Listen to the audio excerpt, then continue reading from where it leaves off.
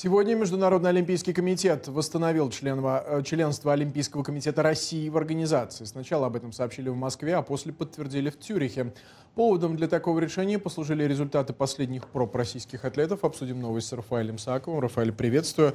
А, так каковы результаты, насколько это ожидаемое или неожиданное решение? А, конечно, после исполкома а, МОК, которое, заседание которого состоялось в день закрытия Олимпийских игр, это было вполне ожидаемым решением, поскольку тогда, напомню, решили не позволять все-таки российской делегации проходить под своим флагом на церемонии закрытия из-за двух а, случаев употребления допинга на Олимпиаде, но сказали, что после проверки всех оставшихся допинг-тестов а, с участием российских спортсменов, соответственно, такое решение будет принято, Олимпийский комитет могут восстановить в правах. То есть, по сути, МОК закрыл глаза на эти два нарушения на играх в керлинге и бобслее, на что указывают противники данного решения. И вот что говорится и как это объясняется в заявлении МОК.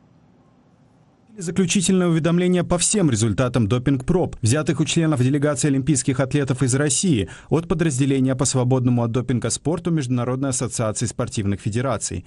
МОК может подтвердить, что результаты этих тестов отрицательные. Тем самым, как и предполагалось, решением исполкома МОК от 25 февраля приостановка членства Олимпийского комитета России автоматически отменяется.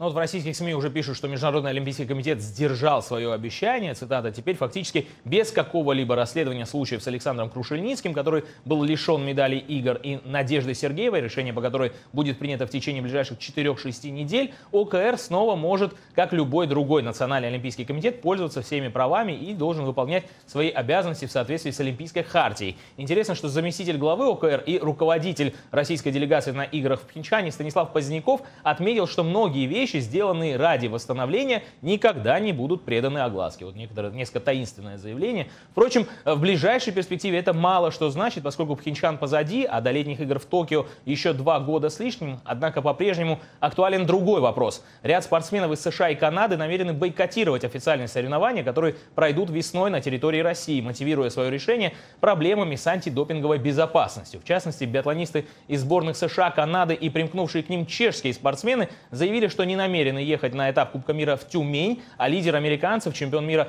2017 года Лоуэлл Бейли, открыто через Твиттер призвал присоединиться к бойкоту членов сборной Норвегии, э, одной из главных команд в мировом биатлоне. По словам Бейли, без решительных совместных действий со стороны спортсменов Международный союз биатлонистов продолжит игнорировать защиту чистого спорта. Я спросил о подобных действиях спортсменов из США у руководителя американского антидопингового агентства Трэвиса Тайгарта и о том, были, ли от его ведомства какие-то рекомендации атлетам, и вот что он ответил ответил.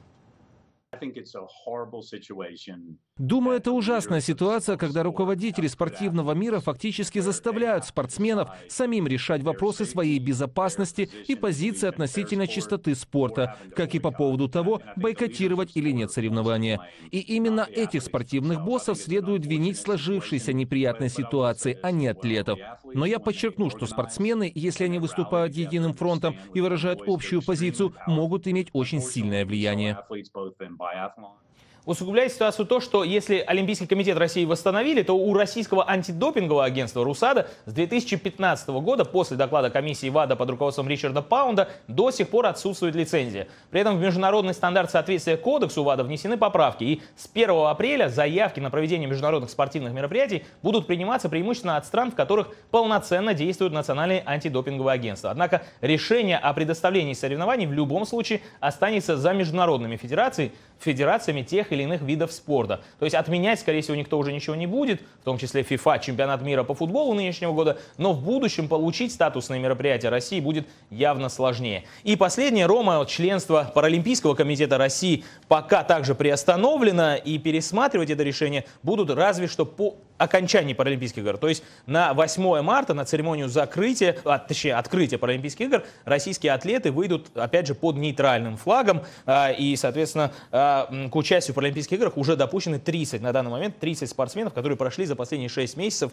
до игр как минимум два допинг-теста.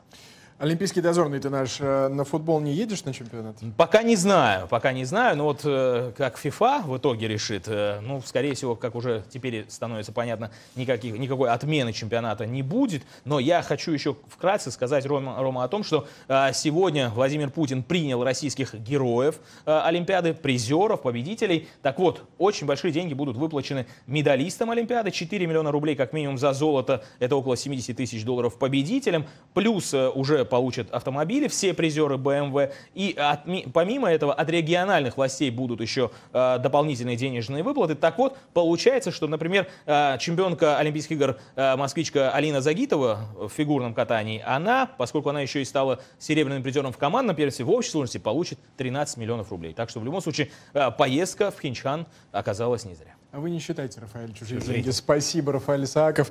Решение Международного олимпийского комитета восстановить членство Олимпийского комитета России в организации.